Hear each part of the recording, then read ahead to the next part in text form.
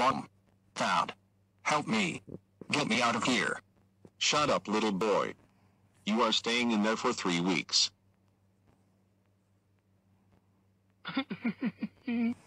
Well, I guess it's just you and me, strange man. Get